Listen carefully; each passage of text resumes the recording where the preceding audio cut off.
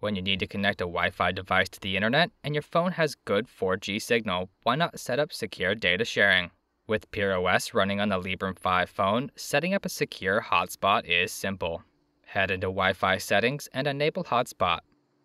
You can configure your network name and password. For ease of use, others can scan your QR code or simply open up settings and attach to your new network. With your hotspot enabled, you can securely connect any Wi Fi capable devices to your Librem 5's 4G data. To set up a dedicated access point, attach an Ethernet device and head into its settings. Under IPv4, select Shared with other computers. When you attach a device to the Librem 5, an IP will be set up and your 4G data will be shared.